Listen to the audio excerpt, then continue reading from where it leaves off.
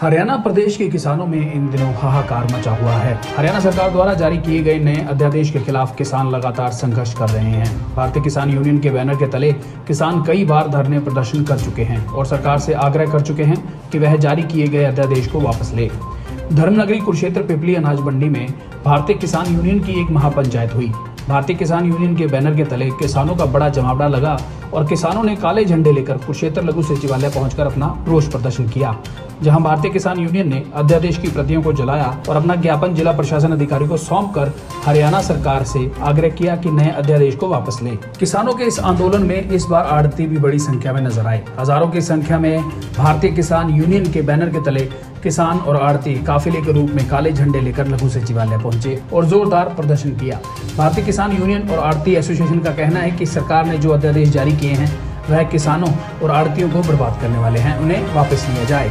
वहीं यमुनानगर में भी भारतीय किसान यूनियन ने तीन अध्यादेशों के खिलाफ जिला उपायुक्त कार्यालय के समक्ष जोरदार प्रदर्शन किया और साथ ही विरोध स्वरूप अध्यादेश की कॉपी जलाई। स्वतंत्रता दिवस के अवसर को देखते हुए भारी संख्या में पुलिस बल, हालाँकि वहाँ तैनात रहा, लेकिन बड़ी बात यह रही कि विरोध प्रदर्शन से पहले गुरुद्वारा साहिब ग्राम सुडेल पर एकत्रित होकर सभी किसानों ने स्वतंत्रता दिवस के अवसर पर तिरंगा झंडा भी फहराया व वहीं से मोटरसाइकिल मार्च की शुरुआत की, जो जिला उपायुक्त कार्यालय यमुनानगर पर जाकर खत्म हुई। ग्राम सुडोल से प्रदेश संगठन सचिव हरपाल सिंह सुडेल व जिला प्रधान संजू बुदियाना की अगुवाई में किसानों द्वारा काले झंडे लेकर मोटरसाइकिल मार्च जिला उपायुक्त कार्यालय तक निकाला गया। इस दौरान किसानों ने सरकार विरोधी नारेबाजी कर किसानों के लिए लाए गए तीन अध्यादेशों का विरोध किया। देखिए, एक अध्यादेश है जिसमें इन्होंने कहा है कि व्यापारी मंडी के बाहर खरीदे। मंडी को तोड़ने का षडयंत्र है कि बाहर खरीदेगा तो टैक्स नहीं है। अगर मंडी के अंदर खरीदेगा तो साढ़े छः परसेंट टैक्स बनाते हैं हम कह रहे हैं, अगर आपको टैक्स छोड़ना तो मंडी के अंदर भी टैक्स छोड़ दें। और दूसरा दूसरा ये कह रहे हैं कि कॉन्ट्रैक्ट फ़ार्मिंग उस, वो भी मंडी तोड़ने के दूसरा तरीका है कि किसान और कंपनी दोनों आपस में सीधा कॉन्ट्रैक्ट कर लें। लेकिन उसमें जब मार्केट में रेट हमारे कॉन्ट्रैक्ट से नीचे जाएगा तो हमारी क्वालिटी ख़राब दिखा के छोड़ने की उनके पास पावर है। दस तरह के बहाने हैं। और उसके हम कोर्ट में भी नहीं जा सकते, केवल एसडीएम पे और डीसी पे जा सकते और वो सरकार के अधिकारी होते हैं। और तीसरा जो अध्यादेश और इसमें एक कॉन्ट्रैक्ट फ़ार्मिंग में और है।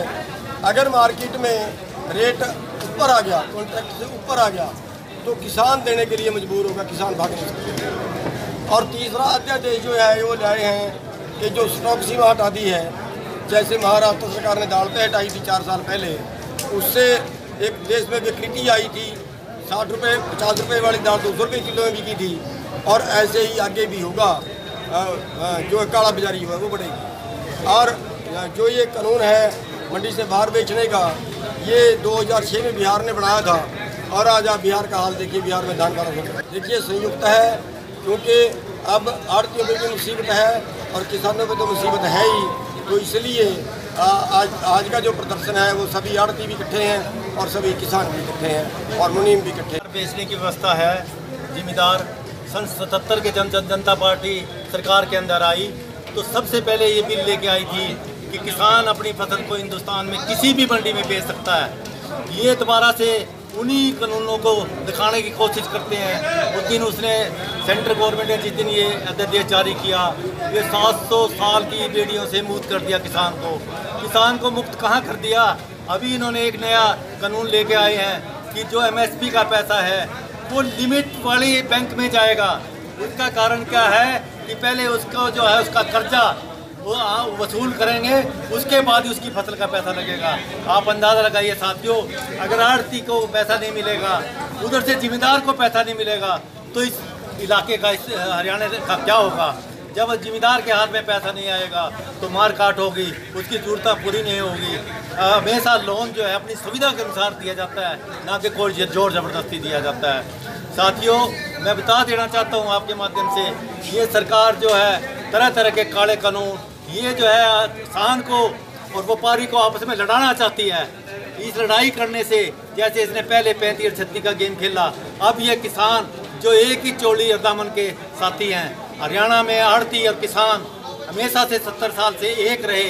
हमारी आपस में अंदर कभी कोई मतभेद नहीं है, कोई कंप्लेंट नहीं है, चाहे हमारा पैसा कभी आया नहीं आया पीछे से। हमने जिम्मेदार को कहीं से भी पैदा किया, उसका पैसा दिया।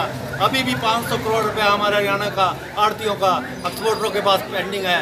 चार साल से हम रो रहे हैं सरकार के सामने, परंतु हमारी कोई सुनाई नहीं कर रही। और आज फिर हरियाणा में किसान को और आड़ती को बर्बाद करने के लिए ये मंडी व्यवस्था को बिल्कुल बंद कर देना चाहते हैं। देश विदेश की तमाम खबरों से जुड़े रहने के लिए सब्सक्राइब करें सच कहूँ और बेलाइकन प्रेस करके पाए हर लेटेस्ट अपडेट सबसे पहले।